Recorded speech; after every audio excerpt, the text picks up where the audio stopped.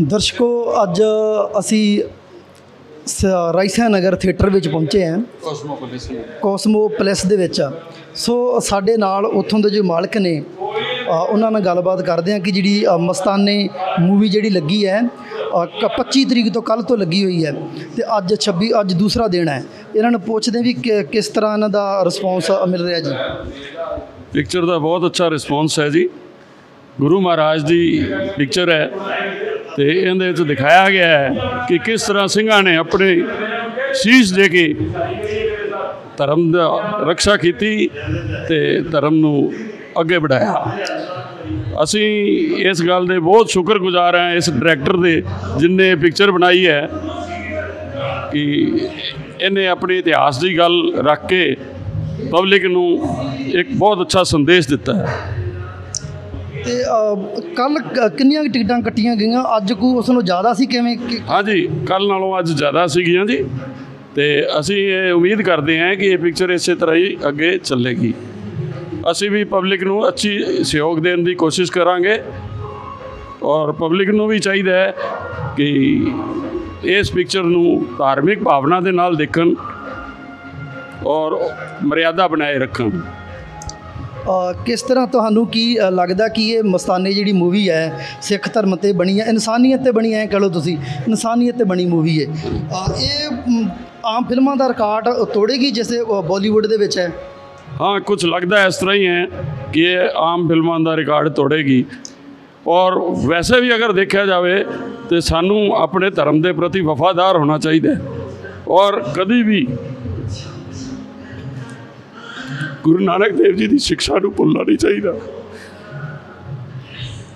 ਉਹਨਾਂ ਨੇ ਸਿੱਖ ਧਰਮ ਵਾਸਤੇ ਬਹੁਤ ਕੁਝ ਕੁਰਬਾਨੀਆਂ ਦਿੱਤੀਆਂ ਔਰ ਬਹੁਤ ਕੁਝ ਉਹਨਾਂ ਨੇ ਦੱਸਿਆ ਹੈ। ਜਿਸ ਤਰ੍ਹਾਂ ਕਿ ਮੈਂ, ਮੇਰਾ ਜਨਮ ਸੁਲਤਾਨਪੁਰ ਲੋਧੀ ਦਾ ਹੈ। ਮੈਂ ਤੁਹਾਨੂੰ ਇੱਕ ਵੱਡੀ ਗੱਲ ਦੱਸਦਾ ਇਹ ਉਹ ਸੁਲਤਾਨਪੁਰ ਲੋਧੀ ਹੈ ਜਿੱਥੇ ਗੁਰੂ ਨਾਨਕ ਦੇਵ ਜੀ ਨੇ 75 ਪ੍ਰਤੀਸ਼ਤ ਆਪਣੇ ਜੀਵਨ ਦੀ ਜਿਹੜੀ ਹੈ ਯਾਤਰਾ ਸੁਲਤਾਨਪੁਰ ਲੋਧੀ ਦੇ ਵਿੱਚ ਬਤੀਤ ਕੀਤੀ ਹੈ।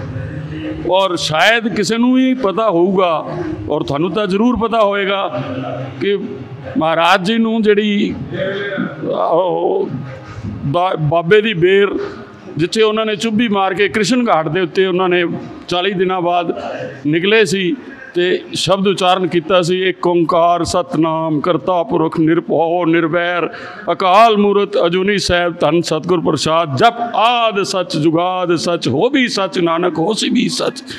ਇਸ ਗੱਲ ਦਾ ਸੰਦੇਸ਼ ਦਿੱਤਾ ਸੀ ਦੁਨੀਆ ਨੂੰ ਕਿ ਭਗਵਾਨ ਇੱਕ ਹੈ, ਰੱਬ ਇੱਕ ਹੈ। ਆਦਮੀ ਨੂੰ ਸੱਚੀ ਮਰਿਆਦਾ ਦੇ ਨਾਲ ਉਹਦਾ ਅਨੁਸਰਨ ਕਰਨਾ ਚਾਹੀਦਾ ਹੈ ਔਰ ਉਹਦੇ ਬਤਾਏ ਹੋਏ ਮਾਰਗਾਂ ਤੇ ਚੱਲਣਾ ਚਾਹੀਦਾ ਹੈ। ਬਾਬੇ ਦੀ ਬੇਰ ਤੇ ਉਹਨਾਂ ਨੇ 13 ਹੀ 13 ਤੋਲ ਕੇ ਜਲ ਦਿਖਾ ਦਿੱਤੀ ਉਸ ਨੂੰ, ਰਾਜੇ ਨੂੰ, ਕਿ ਰੱਬ ਜਿਹੜਾ ਰੱਬ ਵੱਲ ਧਿਆਨ ਰੱਖਦਾ ਹੈ, ਰੱਬ ਉਹਦੇ ਵੱਲ ਧਿਆਨ ਰੱਖਦਾ ਹੈ। ਸੋ ਇਹਨਾਂ ਦੀ ਬਹੁਤ ਵਧੀਆ ਵਿਚਾਰ ਭਾਵੁਕ ਹੀ ਹੋ ਗਏ ਨੇ। ਕਿਉਂਕਿ ਇਹ ਮੂਵੀ ਜਿਹੜੀ ਆ ਇਹ ਇਸ ਤਰੀਕੇ ਦੇ ਨਾਲ ਦਰਸਾਈ ਗਈ ਹੈ ਕਿ ਸੁਭਾਵਿਕ ਗੱਲ ਹੈ। ਤੁਸੀਂ ਜਦੋਂ ਇੱਕ ਰਾਂ ਇਹਨੂੰ ਮੂਵੀ ਨੂੰ ਦੇਖੋਗੇ ਨਾ ਆਪਣੇ ਆਪ ਹੀ ਤੁਹਾਨੂੰ ਉਸ ਪਿਛੋਕੜ ਬਾਰੇ ਸਾਡਾ ਅਸਲ ਜਿਹੜੀ ਸਾਡੀ ਅਸਲੀਅਤ ਆ ਉਸ ਦੇ ਨਾਲ ਜੋੜਦੀ ਹੈ। ਸੋ ਭਾਈ ਸਾਹਿਬ ਨਾਲ ਗੱਲਬਾਤ ਕੀਤੀ ਬਹੁਤ ਇਹਨਾਂ ਦਾ ਧੰਨਵਾਦ ਜੋ ਕਿਉਂਕਿ ਰਾਈਸਾ ਨਗਰ ਰਾਜਸਥਾਨ ਦੇ ਵਿੱਚ ਜ਼ਿਲ੍ਹਾ ਸ਼੍ਰੀ ਗੰਗਾਨਗਰ ਰਾਈਸਾ ਨਗਰ ਅ, ਜ- ਜੋ ਪੈਲਸ ਹੈ ਜਿਸ ਦੇ ਵਿੱਚ ਇਹਨਾਂ ਦਾ ਇੱਕ ਥੀਏਟਰ ਆ ਇਹ ਕੰਮ ਕਰ ਰਹੇ ਨੇ ਇਹ ਇਹ ਭਾਈ ਸਾਹਿਬ ਇੱਥੋਂ ਜੋ ਚਲਾ ਰਹੇ ਨੇ ਸੋ ਬਹੁਤ ਬਹੁਤ ਧੰਨਵਾਦ ਜੀ ਤੁਹਾਡਾ ਜੀ अच्छा जी आपका बहुत बहुत धन्यवाद यहाँ आने का और पिक्चर देखने का ਥੈਂਕ ਯੂ